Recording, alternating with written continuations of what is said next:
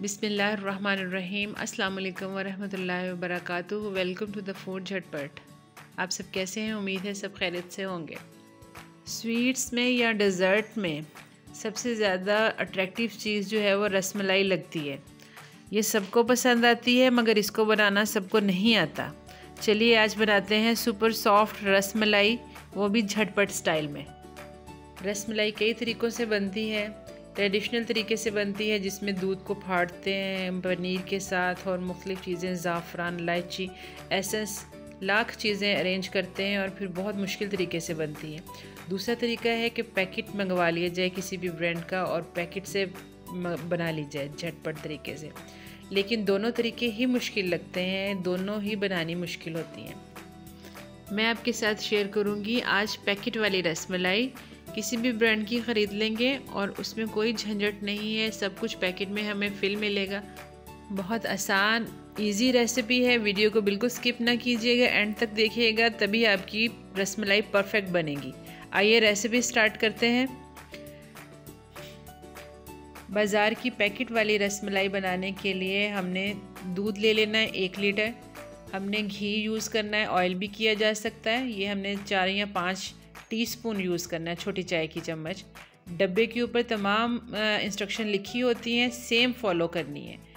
सब की सब वही फॉलो करनी है। और अंडा भी ले लेंगे एक अदद और चीनी डालेंगे हाफ़ कप और थोड़ा सा पानी लेंगे, इसमें हम दो टेबल स्पून कॉर्नफ्लोर डालेंगे। वो हम उसको दूध को गाढ़ा करने के लिए डालेंगे क्रीम भी यूज़ हो सकती है। रस मलाई का एक पैकेट लेंगे और हम उसको एक बॉल में डाल लेंगे। उसमें हम अंडा डालेंगे पाँच tablespoon tablespoon levelled में डालेंगे और टीस्पून के हिसाब में घी डालेंगे। जो पैक है, जो डब्बा है, उसके ऊपर तमाम इंस्ट्रक्शन होंगी। आपने वैसे ही फॉलो करनी है, जहाँ पर टीस्पून यूज़ होनी है, वहाँ टीस्पून करनी है, जहाँ टेबल स्पून यूज़ करने का कहा है, वहाँ टेबल स्पून करनी है। अगर मेयरिंग स्पून होंगे तो चीज़ परफेक्ट बनेगी।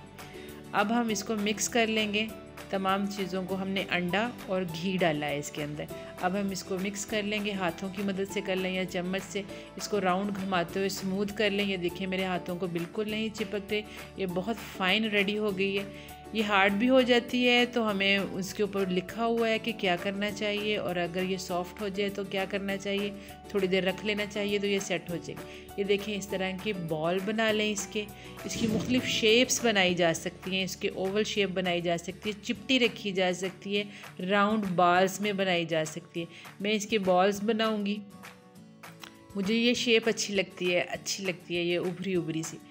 तो मैं इसके एक पैकेट के तकरीबन एलेवन बॉल्स बनाऊँगी, क्योंकि मैंने बहुत छोटे नहीं बनाए। अगर छोटे बनाएँगे तो हम फिफ्टीन फोर्टीन टू फिफ्टीन भी बना सकते हैं। रस मलाई के एक पैकेट से तकरीबन ये एलेवन बॉल्स बन गए हैं, लेकिन मैंने जो कि ज़्यादा अरेंज किया हुआ था, मैंने तीन पैकेट की बनाई हैं तो मैंने वो सारी बना के रख ली और दूध लिया मैंने तीन लीटर, क्योंकि मैं तीन पैकेट बना रही थी। आपने एक पैकेट का एक लीटर दूध लेना है। एक छोटे से पैन में मैं हाफ़ लीटर दूध डालूँगी और यहाँ पर मैं चीनी नहीं डालूँगी बल्कि कैंडल डालूँगी और ये बड़े पैन में मैं चीनी डालूँगी एक लीटर में हाफ़ कप चीनी जाएगी और इस तरह, यानी कि डेढ़ कप टोटल डलेगा तीन लीटर में। लेकिन अगर आप चेक करें, चीनी कम लगे तो ज़्यादा कर लें। जैसे ही बॉयल आएगा तो आपने इसके अंदर ये बॉल्स जो बना के रखे हैं डालने शुरू कर देने। याद रखें, उबलते हुए दूध में डाल लें। ठंडे दूध में शामिल नहीं करना, दूध ऊपर को उबलता हुआ आ रहा हो, फिर उसमें आपने बॉल्स डाल लें। आप उधर भी डाल दें कैंडल वाले पैन में भी डाल दें और इधर चीनी वाले पैन में भी डाल दें। और बॉइलिंग दें, आँच को फुल कर दें। ये दूध ऊपर आएगा, आपने फिर नीचे हीट हल्की स्लो कर देनी है दूध नीचे चला जाएगा। ये देखें, उबलते हुए दूध में डालने से और नीचे को प्रेस करने से उबलते हुए दूध में ऐसे प्रेस करेंगे तो ये बॉल्स फूलेंगे ऊपर को। और राउंड में डबल ट्रिपल हो जाएँगे। ये देखिए दूध साइडों से उबल उबल के इनके ऊपर पड़ रहा है। ये ये ट्रिक है इसका। अगर आप ये नहीं करेंगे तो यहाँ पर हार्ड हो जाएँगे। अब इसको ढक्कन दे। आप देखिएगा साइडों से फिर उबल उबल के उनके ऊपर पड़ रहा है। पास खड़े रहें, जाना कहीं नहीं है। आपने ढक्कन के ऊपर हाथ रखना है। फिर पीछे करेंगे वो उबल उबल के उसको और नीचे करेगा। फिर ऊपर ढक्कन करेंगे, फिर पीछे करेंगे तो देखें, वो बहुत अच्छी पक रही हैं, वो फूल के डबल हो जाएँगी। जब वो ऊपर से दूध उनको छुपा लेता है, उबलता हुआ दूध तो वो डबल ट्रिपल हो जाती है, अंदर तक सॉफ्ट हो जाती है। ये देखें, अब ये कितनी बड़ी हो चुकी हैं। कितने छोटे छोटे बॉल्स थे और ये कितने बड़े हो गए। हम इसको जारी रखेंगे जब तक ये हल्की सी भुरने नहीं लग जाएँगी। जब ये हल्की सी टूटने लग जाएँ तो हमें पता चल जाएगा कि ये परफेक्ट हो गई है। अंदर से भी हम तोड़ के देखेंगे, बेशक ये बहुत अच्छी कुक हो चुकी होंगी। कॉर्नफ्लोर पानी में मिक्स करके हमने रखा हुआ था तो वो हमने इसमें डाला, उतना डाला है जितने में ये दूध गाढ़ा हो गया। ये कैंडल वाली रेडी हो चुकी है अब। अब इधर हम डालेंगे क्योंकि रसमलाई हमारी रेडी हो गई है, फूल चुकी है। कॉर्नफ्लोर से हमने दूध को गाढ़ा कर लेना है। तो सब कुछ मैनेज हो जाएगा, हर चीज़ वहीं पर रुक जाएगी, कुछ भी मज़ीद फटेगा नहीं, हर चीज़ परफेक्ट हो जाएगी। वीडियो में आप देख सकते हैं, ये कंसिस्टेंसी हमें चाहिए। लिक्विड इतना चाहिए, बहुत गाढ़ा कस्टर्ड की तरह नहीं कर लेना। हमने कॉर्नफ्लोर का जो रेशो सेट किया है, वो एक लीटर दूध में दो टेबल स्पून डालेंगे हम कॉर्नफ्लोर हाफ़ कप पानी में दो टेबल स्पून कॉर्नफ्लोर एक लीटर दूध में जाएगा। तो ये तीन लीटर दूध था तो ज़ाहरी बात है उस तरह हमारे डिवाइड हो गए। तो जो हमने डालना उतना है जितना हमें चाहिए। जहाँ जहाँ पर गाढ़ा हो जाएगा, वहाँ पर हम स्टॉप कर देंगे डालना। ये देखिए, माशाल्लाह से अब थोड़ा सा पकाएँगे, इसको कॉर्नफ्लोर पक जाए। इस मौके पर हम इसमें क्रीम भी ऐड कर सकते हैं। कोई भी मिल्क पैक क्रीम ले लें, खोया ले लें, वो ऐड करें, दूध को रिच करें। अगर आप ज़्यादा क्रीमी करना चाहते हैं। अदरवाइज़ हमने फुल फैट मिल्क लिया था, जो कि काफ़ी था। और बाकी जो फ्लेवर वगैरह है वो सारा रसमलाई ये पकने से इसके अंदर आ गया है। जो डब्बे में पाउडर में फ्लेवर्स थे, ये मैंने पिस्ता फ्लेवर की ली थी। तो तीनों पैकेट मैंने पिस्ता में लिए थे। ये नहीं कि कुछ बादाम के ले लिए और कुछ पिस्ता के ले लिए। ये देखिए, अब हमने इसको सर्व करना है सर्व ऐसे नहीं करना है, इसको ठंडा करके हमेशा सर्व करते हैं। इसके वन बाय वन हमने इसको ढेल नहीं लेना एक एक बॉल निकाल के रखेंगे पहले। खुला सा बर्तन लेंगे इसका।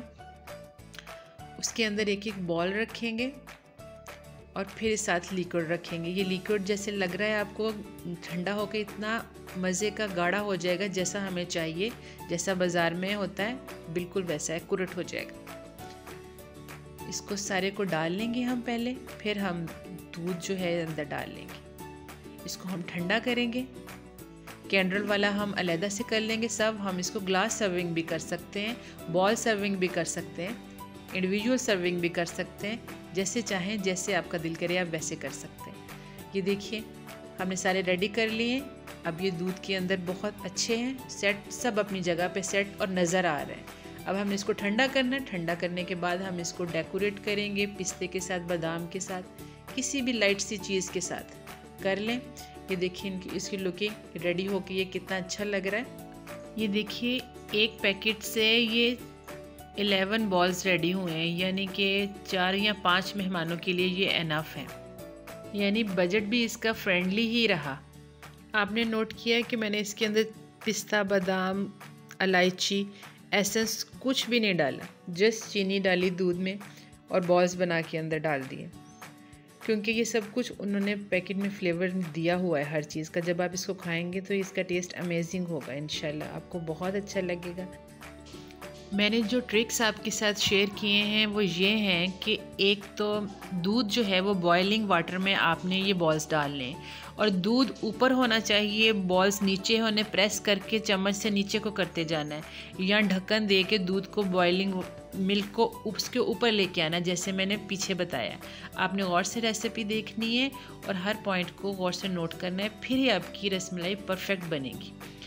आपने मेरे टिप्स और ट्रिक्स फॉलो करके रेसिपी को ज़रूर ज़रूर बनाना है और मुझे बताना है कि आपकी रेसिपी कैसी बनी।